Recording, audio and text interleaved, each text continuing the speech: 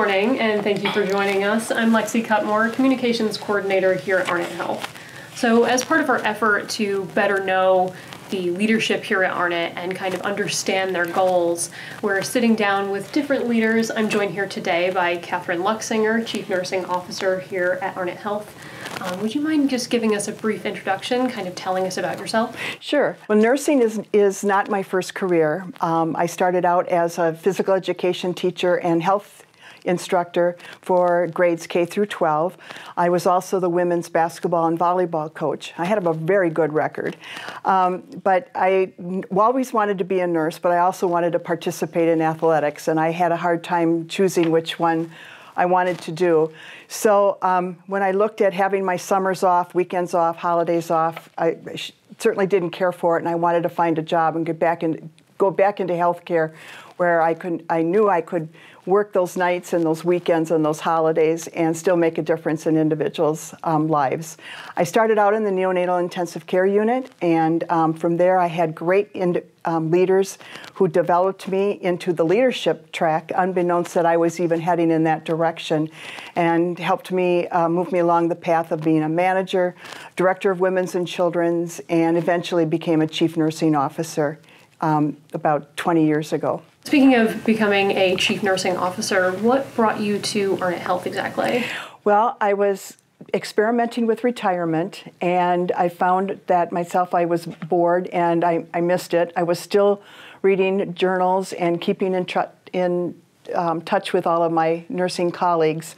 And um, I had a recruiter call me one day and asked me if, if I would help out a small hospital in New York. And um, I got more information and interviewed with um, people from the executive team at Arnot, and I and I really like what I heard. It was only supposed to be like a three or four month stint, so I said sure, it would break things up for me. So um, I they liked what they heard and, and brought me on board. We obviously, you know, celebrate our nurses year round, their trials, their tribulations, how they get past that.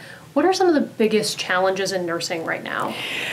as we come out of the, the virus season that we had with COVID, um, I think not only Arnot but hospitals nationwide are starting to recover from the lack of resources that we had over the last couple of years. In nursing, mainly it is our registered nurses, LPNs, the aides, and our secretaries that we need to help us every day take care of our patients. That is probably where our biggest struggle is. However, I'd like to share we're having a really good recruiting season, and um, getting a lot of new grads will be coming in in May and June, and we're getting a lot of nurses that were agency nurses with Arnot over the last couple of years, but now they want to stay on as full-time employees, and it's really a testament to how these nurses feel that they're part of the team.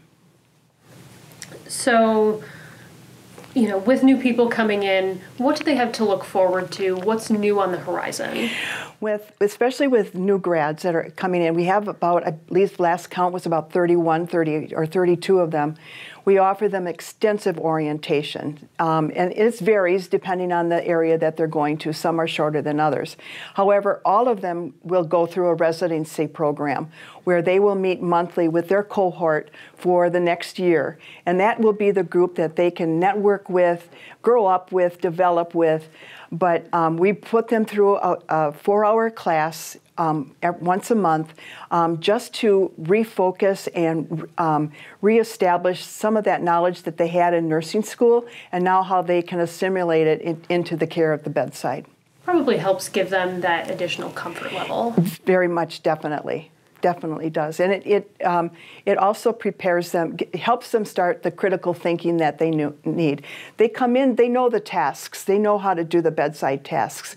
We have to, we as leaders and educators need to p- help them understand the why behind those tasks. So you've been working with Arnot on and off for around two years now. Correct, right. What makes you want to come in every day and do your job and show support for the entire hospital system and its staff? Well, Lexi, that's a great question because I, I think about it all the time in, in this career that I get to do every single day. Um, as I told you earlier, nursing is a second career for me. And um, not too long ago, I had a nurse colleague say to me that um, I used to be a teacher and a coach. And she said, Catherine, you're still teaching and you're still coaching. Your scoreboard is just different. And I have to agree with her every day. I look back at the people that developed me and moved me along in leadership. And um, for me, I do. I'm trying to do the same thing. I'm trying to. Um, um, I enjoy teaching. I enjoy developing people. I enjoy developing our future leaders. However, I would be remiss to leave out those nurses at the bedside. As a chief nursing officer, we don't know every aspect of healthcare in the hospital. We, we can't, it's just too big, and, it, and we become too specialized. So I enjoy the nurses from at the bedside who I feel are the experts tell me, teach me what you're doing. Teach me about that new pieces of machinery equipment or share with me what do you need what do you need in order to make your job easier and better and get that that help that patient get better and, and get home with their family. So working with the staff is also kind of like a learning experience for you too. Absolutely, absolutely. Um, it's it's teaching both ways. It's providing that that feedback.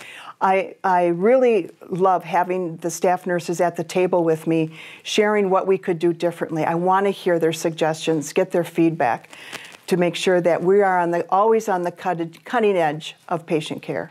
And since we're sitting down, just getting to know you, do you want to share any hobbies or interests that you have? Um, I would love to. I am um, a Wisconsin native. I'm currently living in Phoenix, but um, used to the weather that New York has here. And because of the consequence of that, um, you can't live in the state of Wisconsin and not be a Packer fan. So I'm a Green Bay Packer fan, and I'm also an owner. As everyone should know, if they don't know, they'll know now that the Green Bay Packers are, are owned by um, people, not one person or a billionaire. And um, I'm happy to say I have one share. It's not worth anything, but I get to go to the annual meetings um, that are held in July. But that's um, probably one of my proudest moments, and I got it from my father, so it was pretty special to me. I also enjoy downhill skiing, and I have two lovely yellow Labradors that um, that takes take me for a walk when I'm available getting the um, that share of the Green Bay Packers from your dad is almost like a family heirloom. Oh, it, it is, and in turn, I have done it for my two grandsons, and yeah, my two grandsons both have their own shares now too. That's amazing. Yeah, it is. Well, Catherine, thank you so much for doing this. Thank you. Thank you for having me.